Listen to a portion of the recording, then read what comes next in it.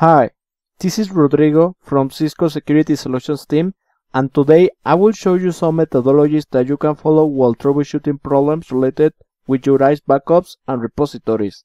So let's begin. In the first section of the video, we will cover the basics related to this functionality we have in Identity Services Engine. A repository refers to a storage location where ISE can upload and download information depending on the flow or circumstance given.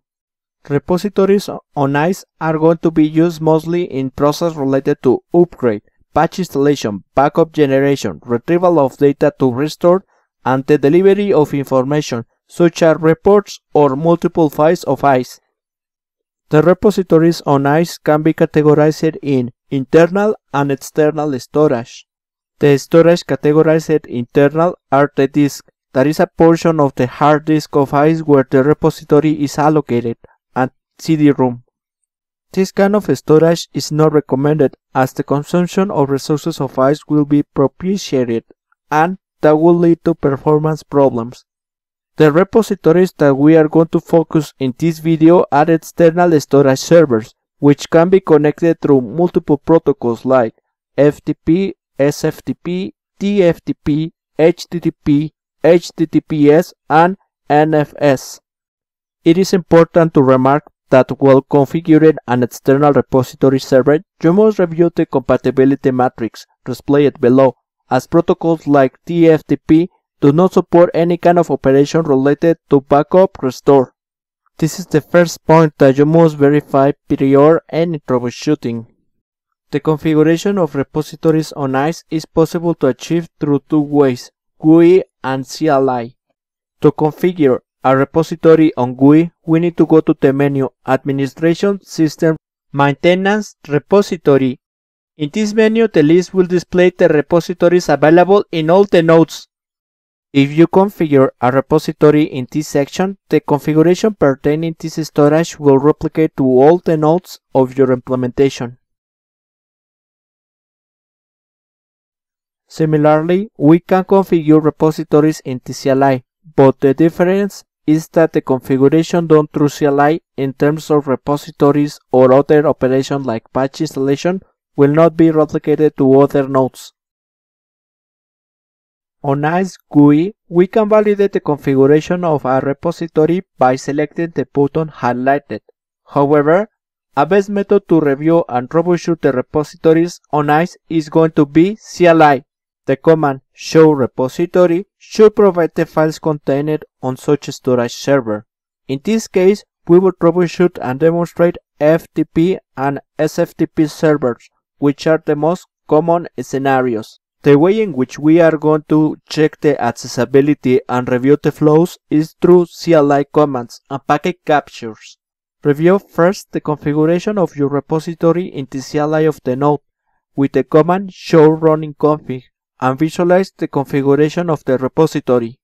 On the CLI of the node, we will check the accessibility of the repositories with the command show repository. In the CLI of the nodes from where we run the command, we can enable the following debug displayed. We can take a packet capture while issuing the command. Set up the capture in the node issuer.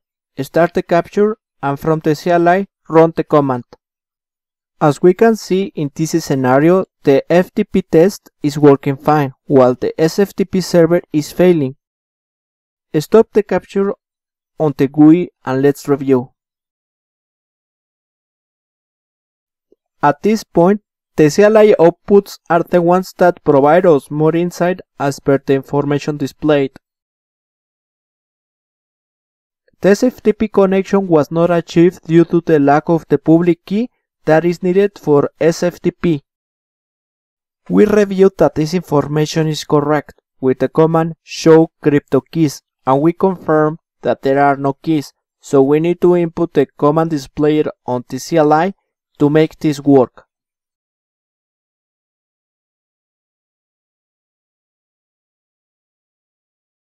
Now that we have successfully configured repositories, let's focus on the backup generation for this scenario. We are going to back the configuration of this server using the FTP server we configured. And as we can see, is failing. As per the testing performed with the command show repository was successful, we know that there is no connectivity problem, so we can issue the following commands in the CLI to understand better the procedures that are happening internally on ISE.